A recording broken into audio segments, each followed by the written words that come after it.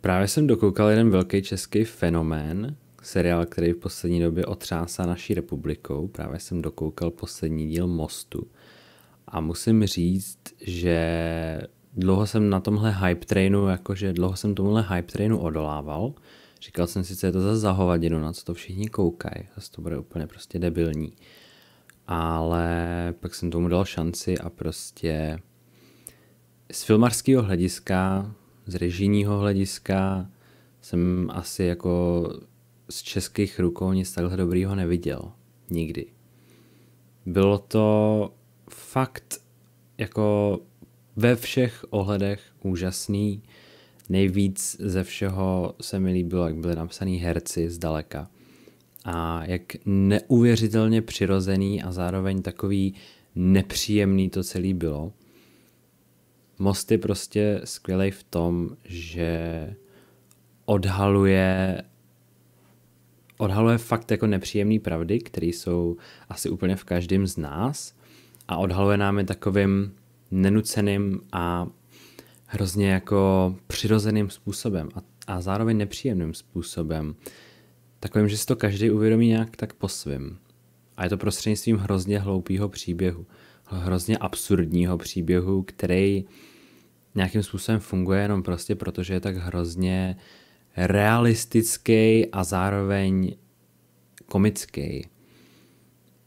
Ten humor v Mostu je absolutně prvotřídní. Nespomínám si, že bych narazil na jedinou hlášku, která by mi přišla trapná nebo klišovitá, nebo prostě ten seriál si proto vždycky najde své vlastní vysvětlení nebo opodstatnění, proč to tam prostě sedí do té dané situace. A musím říct, že i na tu hranici toho humoru jsem se fakt jako upřímně bavil, bavil jsem se jako režisér, bavil jsem se jako scénárista i jako obyčejný divák, protože mě to hrozně chytlo. Dokázal jsem se identifikovat s opravdu spoustou postav, což mi přišlo šílený vzhledem k tomu, jak rozdílnej si přijdu oproti těm, oproti těm postavám v mostu. A spoustu postav jsem si oblíbil, což mi přišlo jako ještě víc absurdní. A prostě mě to jako docela semlelo, musím říct.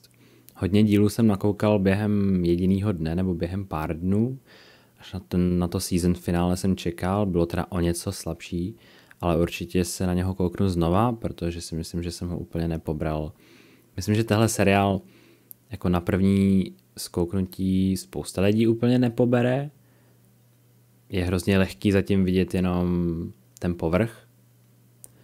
A ještě mnohem víc než u jiných věcí, protože ten povrch je vlastně hodně absurdní a je vlastně hodně takovej kontroverzní a je to možná ten důvod, proč ten seriál je takhle populární, ale pak prostě v jádru člověk objeví fakt jako skvost.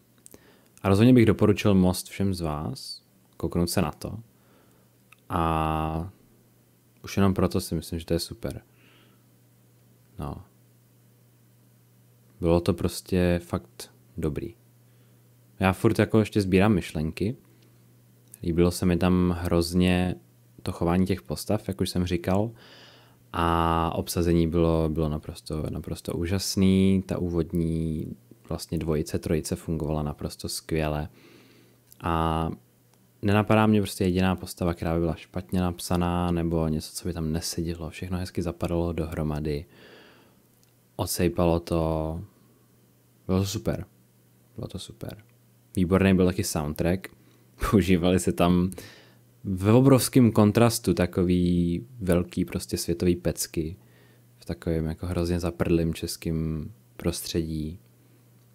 No, bylo to úžasný fakt jako pro mě prvotřídní humor.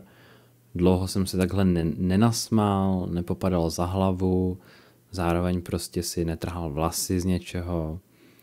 A musím říct, že se mi to líbilo. Musím říct, že se mi to opravdu líbilo. A ještě jednou doporučil bych Most asi úplně každému a možná si uděláme nějaký rozsáhlejší review na to, kdyby vás to zajímalo, protože bych to chtěl hrozně zanalizovat trošku nějak víc si to myslím zaslouží ten seriál.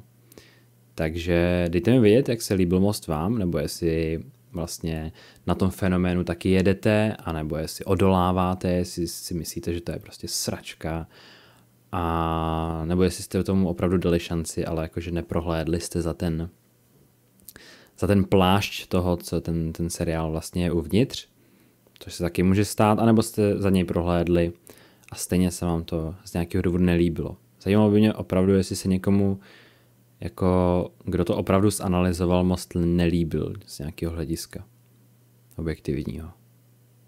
Tak jo, takže já děkuju a budu o tom ještě chvilku přemýšlet, pak budu asi chrápat. Ale bylo to super. Bylo to hrozně syrový, bylo to hrozně... Bylo to, bylo to výborný. Fakt dobrá práce. Fakt dobrá práce.